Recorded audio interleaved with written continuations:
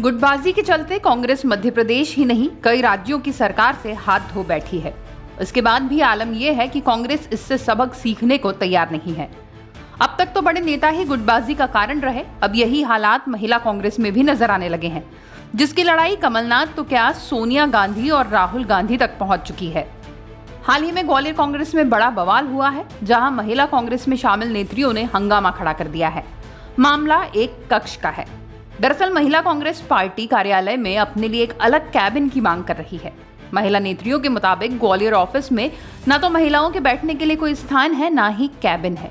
महिला कांग्रेस अध्यक्ष रुचि गुप्ता यहाँ एक अलग से कक्ष चाहती हैं, जिस पर बवाल मचा हुआ है।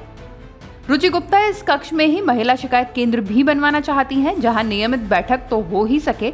महिला कांग्रेस की सदस्य आम महिलाओं की शिकायतें भी सुन सके।